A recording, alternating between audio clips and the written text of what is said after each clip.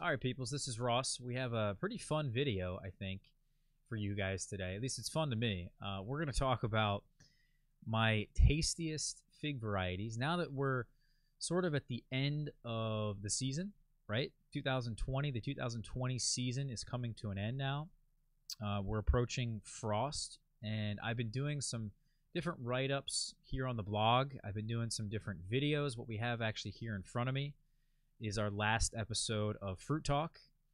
And we talked about in uh, that particular episode really my best fig varieties. We also talked about what are the varieties I'm getting rid of. So we mentioned what are the best ones and then also what are the worst ones, you know? So just to kind of have that nice little contrast.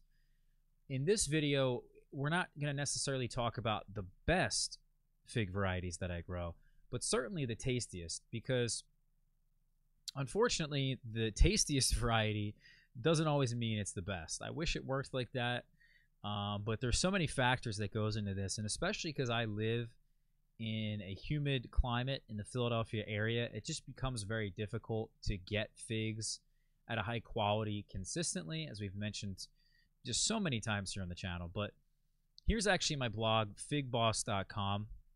And we just did a, a little write up here. Um, as it says three hours ago. So yeah, three hours ago. Um, and we've really got a number of varieties that I highlighted. We have some photos, really good details about the flavor. Um, I think it's pretty good. What we're gonna do is kind of expand upon this particular post here on the blog. If you're interested, I'll put this particular link to the post in the description of this uh, this video.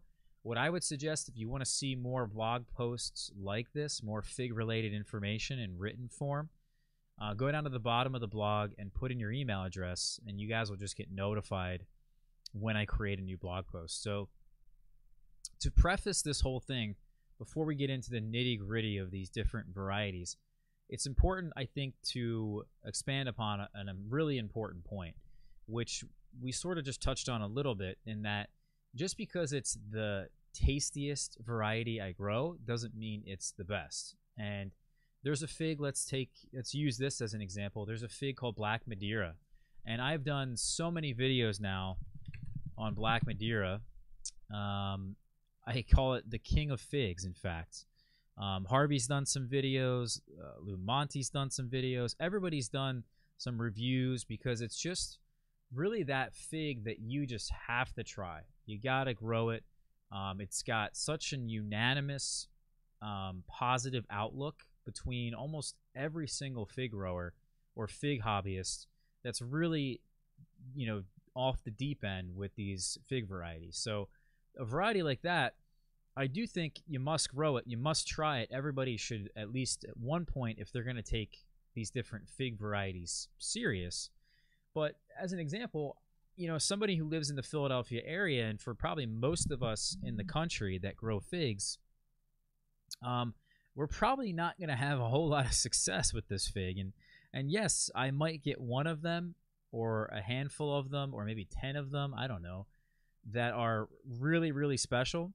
Um, but in most years, at least this year, I only got one. I really enjoyed only one single Black Madeira this year and that was with a head start the season. Um, that was with the Black Madeira getting a head start in my greenhouse, growing it in a container, um, and I only really got one. The rest of them, it's not like it's not a it's not a productive fig because I it probably had about 50 fruits on it.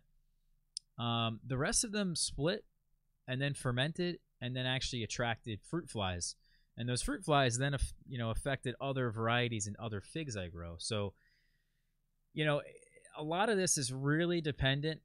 A lot of these varieties are really dependent, first off, just on their genetics. Their genetics make a huge difference in how they taste and also how they perform. And figs are just highly subjected to the weather, to your climate, to your location. So if you're going to be growing, let's say, Black Madeira where I'm at, how many of the Black Madeiras are you really even going to be able to enjoy? Um, so to me, it just doesn't make a whole lot of sense at this point. Um, if we're being really realistic, it doesn't make a whole lot of sense to actually say that Black Madeira is one of my tastiest figs if on an annual basis, I really don't get many figs of them consistently. And also, the quality is so varied, uh, varied in in um, you know some of them are good and some of them are bad. Probably most of them are about just an average fig, and then re- you know really few of them are just amazing. So if I could get a Black Madeira, I think that would be consistently amazing. Then I could say it is amazing. You know, then I could say it is a five out of five on the flavor scale, as an example. Um, so it, to me, it just doesn't make too much sense. And what I've done in the past for you guys is I've actually uh, fig varieties for California. Is I've done, you know, basically uh, videos now on YouTube about varieties that you can grow in a place like California, or I would recommend in a place like California. Um, and for you know you guys that live in, in Southern California, or whether it's um, you know West Texas or Arizona, um, you know really fig conducive climate that's dry and warm, you guys are going to want to focus on well, really, what are the best tasting figs? Um, not necessarily exactly how they perform because the performance side of it isn't as much of a big deal to you guys as it is for someone like me or for most people um, in the country. So you got to be careful, I think, um, for someone like me. But you guys, you could probably get away with just a lot of the varieties that I recommend in these particular videos that I've done. I actually have done two different videos now on variety recommendations for something like California. Actually, here's the other one right here hot, dry climates, my fig variety recommendations. So you can go through these, and if you're interested, the, these are kind of the varieties for you. But I will say that if you're in California, without a doubt, all these varieties I'm going to mention are extremely flavorful and certainly are going to be able to compete with some of the really high end varieties that uh, I may not be able to get here consistently, like the Black Madeira. So that's kind of the whole preface I wanted to mention. Now let's get into the varieties here. The Col de Dama um, is definitely, and it's been historically, my absolute favorite fig. It is the best tasting. Um, I love it. I love it. I love it. And it's just in the same category, I think, as Black Madeira. I think there is people who have preferences between the Col de Dames and the Black Madeira types. But unanimously, I think most fig hobbyists that are really knee deep in the varieties highly respect the Col de Dames and highly respect Black Madeira. Um, for me, what separates the Col de Dame from any of the other figs is the texture.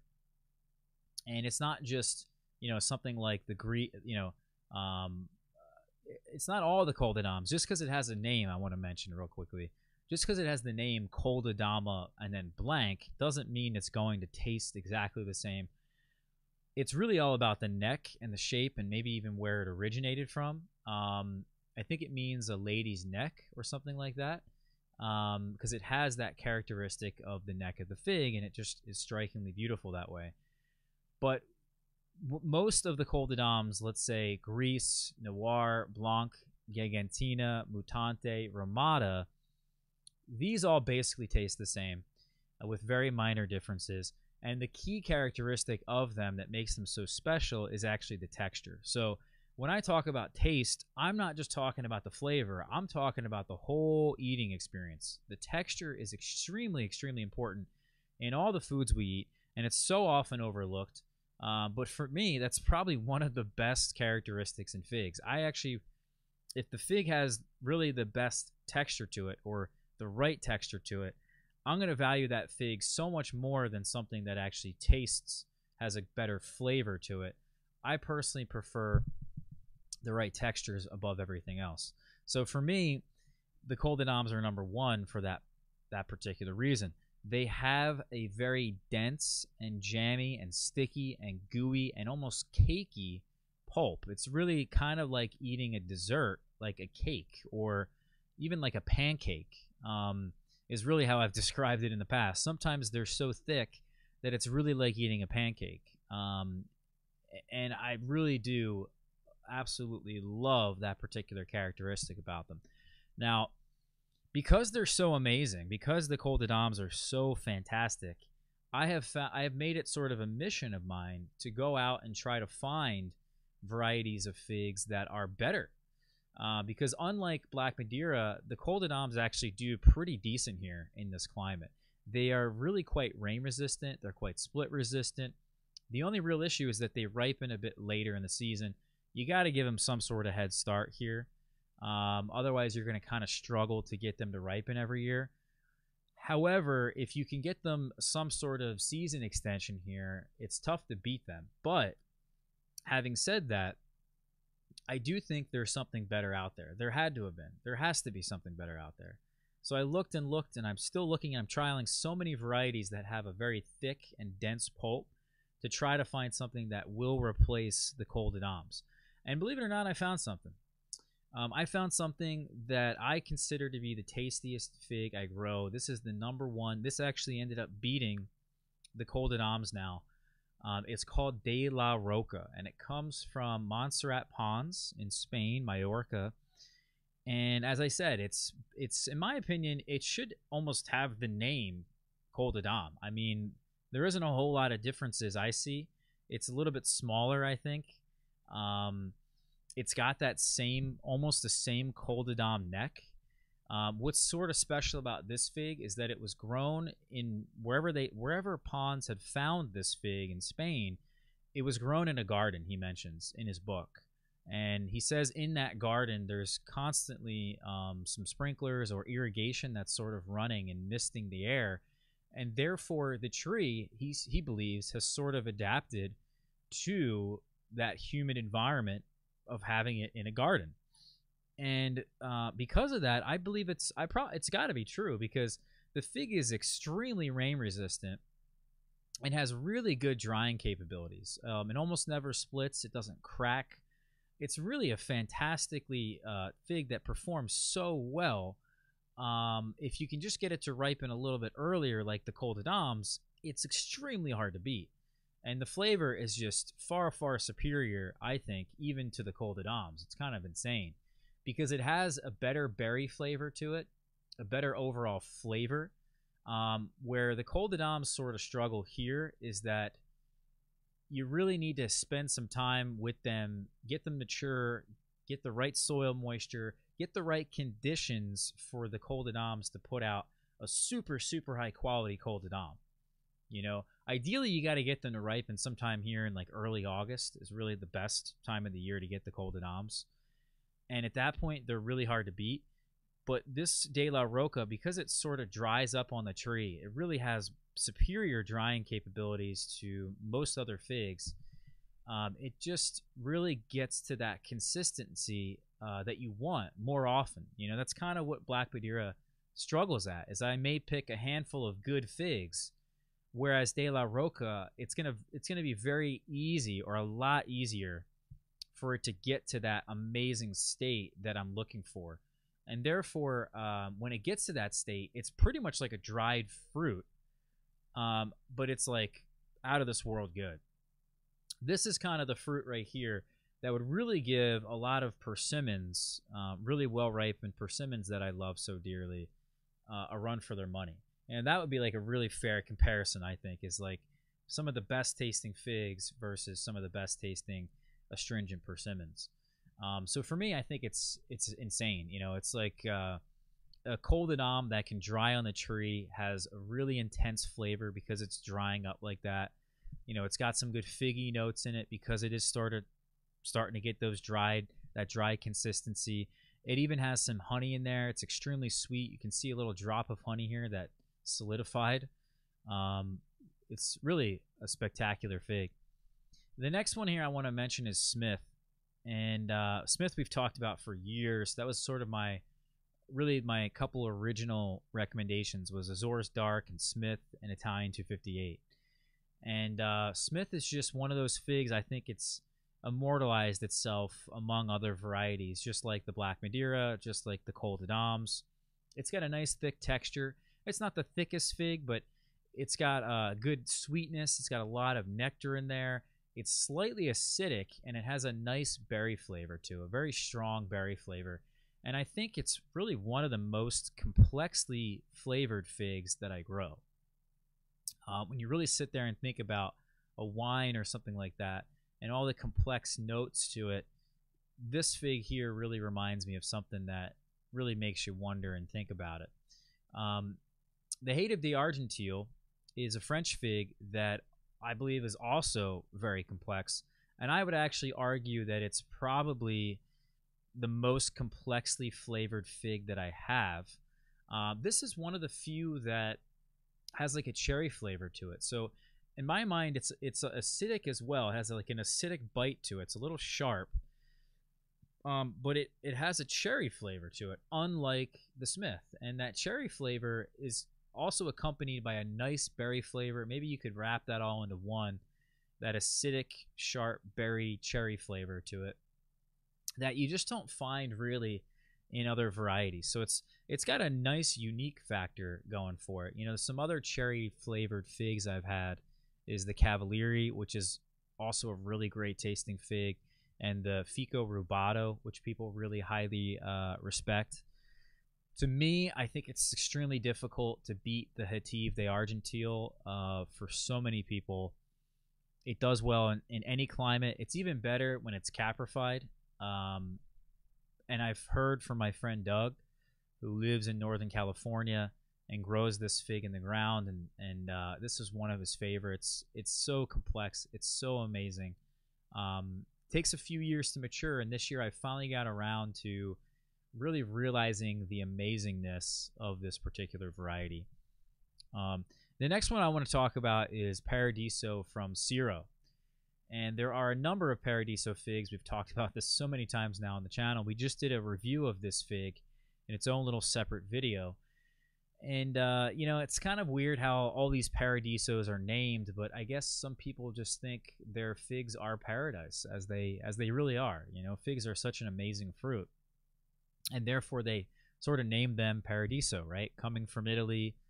Um, I believe personally that this one is very closely um, if not the same thing, to the Paradiso that Paolo Bologna grows in Italy, which is uh, Paolo is probably the most well-respected fig grower in Italy, um, and if he has one called Paradiso, I'm more inclined to believe that it's probably the uh, the Paradiso that was also depicted in Gallesio's drawings, which is um, a guy who basically uh, years ago, I think maybe a hundred or more years ago, had went around Italy and documented many of the varieties of fruits and, and drew pictures of them and, and wrote things about them and sort of put together a nice uh, a nice book on them. And you can find that book on the internet if you guys are interested.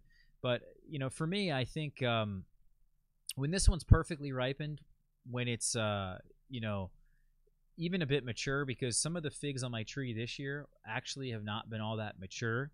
Whereas this was a fruit from last year that really just blew me out of the way. Uh, blew me out of the water, not blew me out of the way. Um, but uh, even this year, it was really spectacular. And it just kind of goes to show that it does need a little bit of time to mature because I did air layer it off its mother tree. And then I put it into a pot. And it's I think it's taking its time now to get back to its former self. But um, this one's just really, I, I can't say enough about this fig. It's got really a dense, cakey texture. One of the more denser varieties, like the Col de Dames. Um, even more dense, I would say, than Smith and Hative d'Argenteuil. It's more dense than, let's say, the Hardy Chicago types like Azores Dark. Um, you know, it's really spectacular. And, and not only does it have that really perfect or close to perfect texture, it's got a really great berry flavor to it. Um, that's really quite hard to beat. It's very sweet as well. Lots of nectar in there. Uh, highly, highly regarded fig. There's also another Paradiso because I, I said there's a lot of Paradisos. There's one Paradiso from uh, from Baud, and he's in France, and he's probably the uh, the biggest expert of figs in France. And this is the one that he grows, as I said. And I would say this one is probably, if I had to really just rank them all in order, I would say this one's probably number two. Um, I think De La Roca is the tastiest, and this one's probably just right behind it.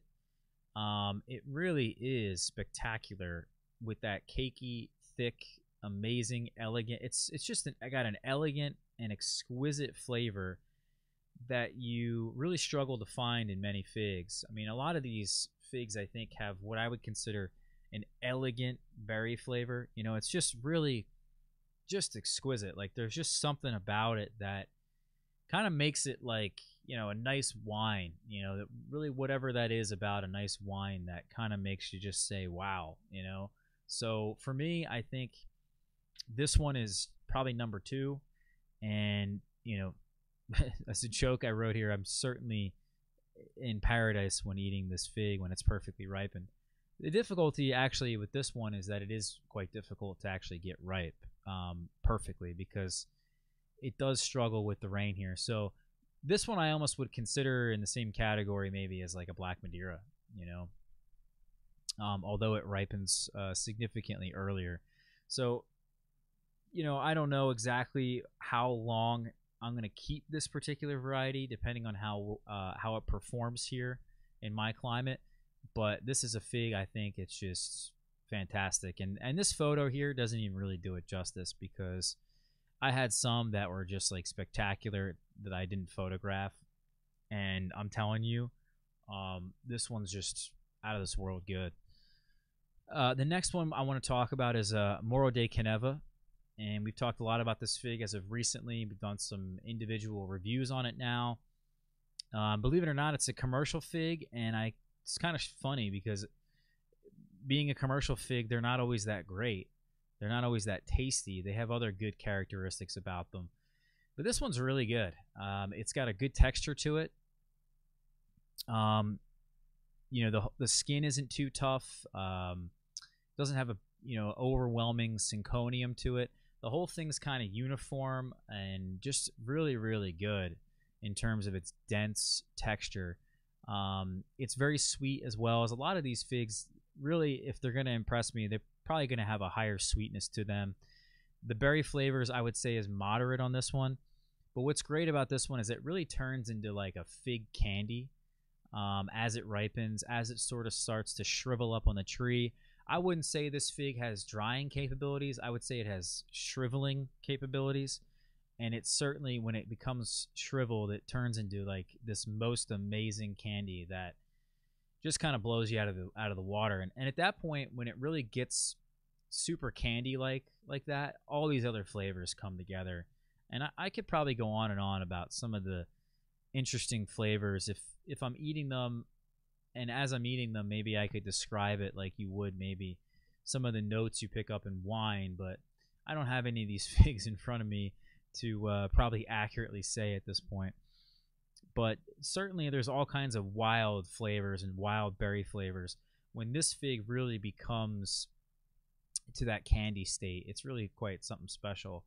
Uh, and I think it can almost consistently do that. You know, it's not like that's a one out of 20 or one out of a hundred mm-hmm. that happens like that.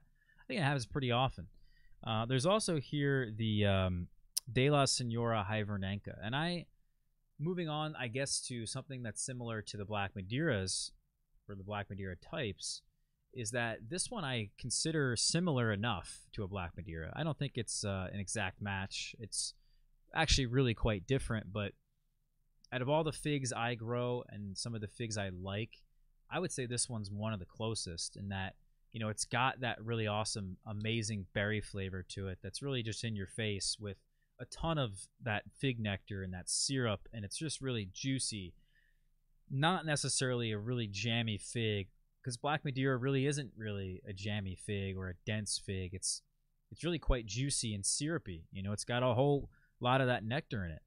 Um, and uh, you know, I think the flavor and the overall eating experience is just rather similar to Black Madeira. I mean, sure, I'm sure I'm sure somebody could argue that, but um, for this particular type of fig and this particular style of a fig, I almost consider this one the Black Madeira killer. We did a a little blog entry on just I think this particular variety of De La Senora. We did, I believe, and um, you guys can check this one out here as well. I called it De La Senora, the Black Madeira Killer, because not only does it taste just as amazing I, it could even taste better. I'm not 100 percently. I'm not 100 percent sold on if it's worse or better just yet.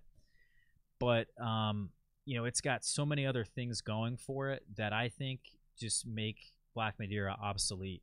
You know, it just becomes a completely other than just gotten you know getting Black Madeira to try it, and because it's such an immortalized variety, I just think, you know, this one here is like just almost far superior uh, to that fig. It's got, for a lot of reasons, it's got like a shorter hang time. It's really only three to five days. You could pick it at six or seven, I'm sure, and I'm sure it would taste better as it ripened, but you know, Black Madeira splits quite often, and this one almost never splits. It's got super rain resistance and uh, I would argue it even has a better flavor. So we'll see uh, how that one does uh, in the flavor department going forward. But I'm I'm pretty convinced at this point. The other figs we have here keep going down the list is Azores Dark and and Malta Black, and uh, I kind of combine them together because they are hardy Chicago types, and they do taste rather similar, but when you get them super ripe and you have a mature tree, they're actually quite different. And I would argue that the berry flavors within them is very different. Um, Azores Dark is kind of like a strawberry and a Concord grape flavor, and then Malta Black is really like a, a raspberry jam flavor, and they're they're both really dense. Um, I find I think the Azores Dark personally is much more dense, but they both have good drying capabilities, and when they get to that dried state, any of the figs really, when they start to get dried up a bit, they'll start to turn into more of a dense, um, jammier texture to them. Um, so Malta Black's got that going for it as well. And they're, I would argue, they're both very figgy as well. They have some dried fruit flavors and really what a true fig almost sort of tastes like in my in my mind. You know. The next one here is Verdino del Nord, and we've talked just so much about this fig and how amazing it is for so many different reasons. And it's got the be- like some of the best drying capabilities um, that exist. You know, other than Nerucciolo de Elba, this one is probably number two in that category. And it doesn't take very long for it to get to that dried state. Almost all the figs here on this tree dry on the tree. And that's really saying something. That's quite difficult here.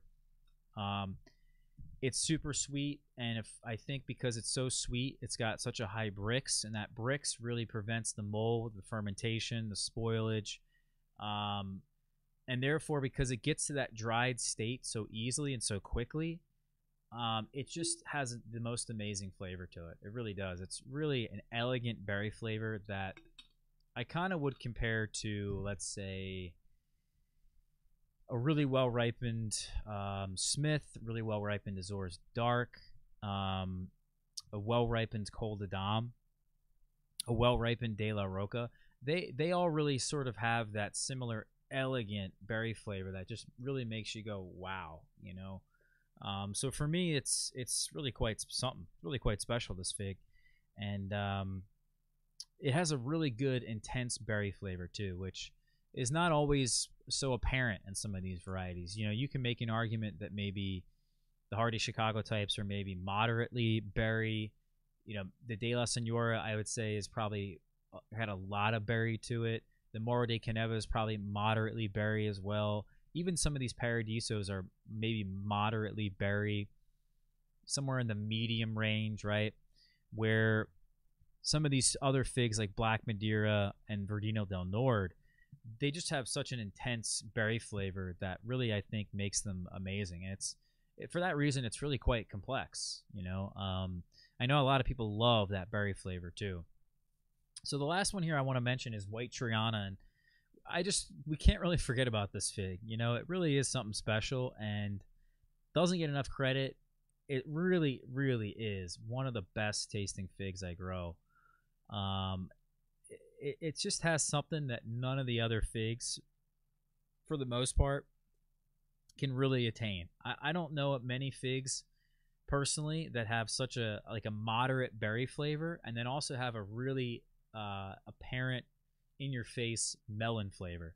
It's kind of in my mind like eating a, a cantaloupe with some strawberries and a little and a little bit of fig in there. It really is kind of more melony than anything, I think. And usually when these figs ripen, they kind of lose those melon tones as they go, as they ripen, um, and they start to develop other flavors. And as the sugars increase, that melony, you know, note goes away. But this one retains it, and for me, it's it's also quite dense. The nectar is very dense as well. Uh, oddly enough, it's thick through and through.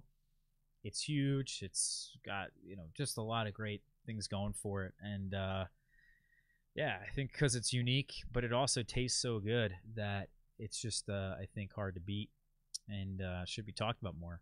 The uh, other figs that I could definitely mention, I could probably have a long list, in all honesty, of figs that would probably go in this in this in this blog post, but I had to stop at some point, right? We got to stop this video at some point, but you know things like Rosalino and Campaniere and Blanche de Saison, the Adriatic type figs are also really special. Bourjassotte Grise and Violette Sepor and Socorro Black are all kind of the same fig, and Dels Ermitans's a really big favorite of mine that um, you could I could certainly have made a blog post on this and felt very comfortable about it. Pastelliere, Ronde Bordeaux. Ronde Bordeaux is like eating candy, um, kind of a lot like the Rosolino and the Moro de Caneva. They're both, they're all three of those are kind of like fig candy, I think. There's Albo, which has a unique flavor profile to it that I love, and maybe even you, could put in LSU Hollier in there and Sucrette, and even Nerucciolo de Elba, which I didn't even list, but uh, de Elba is quite a, a nice tasting fig, and you know, there's probably so many figs here, guys, in the future that I'll be able to maybe even add to this um, as we get further along of trialing these different varieties. It's amazing what we learn, and you know, most of the varieties I've said have been really tasty, have stayed true uh, for the future. You know, um, even Italian 258, which is not really on this list, is still a very, very tasty fig, and I would put it probably slightly ahead of Black Madeira. You know, um, or in the same category. So, yeah, I want to thank you guys. If you're interested, check out the other videos I mentioned. Check out this blog post. Hit that subscribe button for me. We'll see everybody soon. I hope you guys are going to get to eat some really tasty figs uh, next season. All right. Take care, guys. We'll see you soon.